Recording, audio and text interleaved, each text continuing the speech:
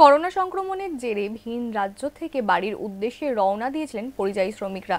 রাজ্য সরকারের পক্ষ থেকে পরিযায়ী শ্রমিকদের জন্য একশো দিনের কাজে নিযুক্ত করার কথাও বলা হয়েছিল।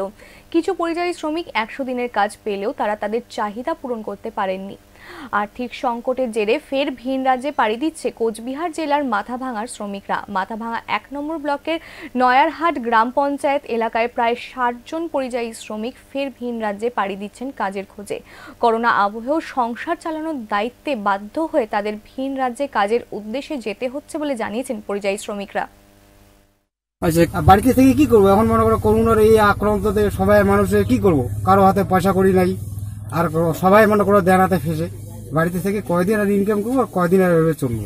বেদাত ছাড়া তো আমাদের ভাত নাই। কাজ থাকলে কি হবে? এই কাজে তো আমাদের মনে করো পোষাবে না। দিন চলবে না। খালি পেটটাকে পেট চলা চলবে। পেট চলা নিয়ে কি আমরা এভাবে বাঁচতে পারব? আমাদের যে মনে করো মাস গেলে অনেক জায়গায় অনেক টাকা দিতে লাগে। সে জায়গাগুলো টাকা দিতে না পারি ওই লোক তো আমাদেরকে আসে। বাড়িতে মনে করো তুষ্য করছে আমাকে টাকা দিতে হবে। নাহলে তো আমার অসু- অসুবিধা হয়ে যায় তাই এই কারণে আমাদের অনেক ভাবা চিন্তা করে আমাদের বিদেশেই যেতে লাগবে। নাহলে তো আমরা বাঁচতে পারব না। গ্রাম বাংলা দাদি কাজকর্ম খুবই কম। হ্যাঁ আমার কুচবিহার জেলাটা খুবই কাজকর্ম খুবই কম। তো যেগুলা কাম কর্ম আছে, এগুলা নিয়ে আমার তো পোষায় না। আমার নেওয়া আছে বন্ধন, শেডিং, হাবি জাবি অনেক কিছু নিছি। হ্যাঁ তো এগুলা নিয়ে আমার বাড়ির টেনশনত থাকির পাইছেন না।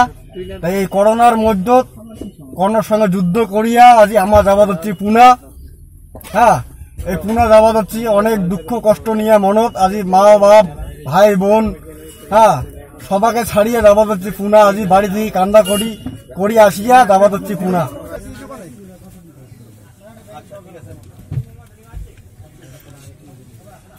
যাই যা